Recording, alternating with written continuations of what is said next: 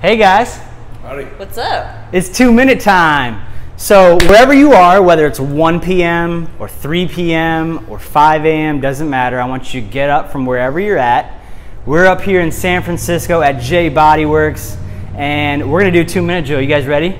Yep. Okay, so if you have a cubicle, you can just grab the end of the cubicle. But if you have a friend, just put your hand on your friend's shoulder, and I want you to lift your right leg, and I just want you to shake it out side to side. We're gonna do this a couple times for about five, six seconds, and set it down. Now, put your arm on your left side, lift your left leg up, and shake it out. We're gonna go for about five, six seconds here. Should feel really good and down. And if you've ever seen Karate Kid, you guys seen Karate Kid?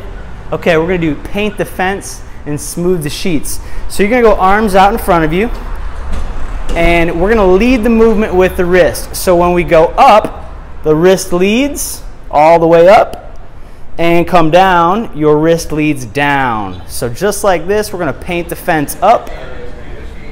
The elbow is not allowed to move, only the shoulder is, and the wrist leads the movement. So we're gonna go five reps. Make sure you're breathing. One more rep. And down. So once we paint the fence, now we need to smooth the sheets out. So uh-huh. hands, imagine you're on top of some sheets, and I'm just gonna move back a little bit. And you're gonna re- lead the movement with your wrist again. So out, wrist leads, in, wrist leads. And we're just gonna smooth those sheets out. I'm gonna go five, six reps.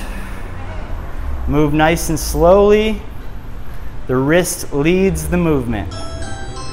And that ding means we're all done with our two minute drill. Let's introduce So our guest. we have our guest here. Go ahead and give the crowd your full name and where they can find you. Hey guys, my name is Anthony Checky and I work here at J Bodyworks. We're in San Francisco. Boom. Boom. And you know who I am, Missy Bunch. Missy Misdemeanor Bunch. Back So, in the Bay Area. Get back to work, guys. Take care.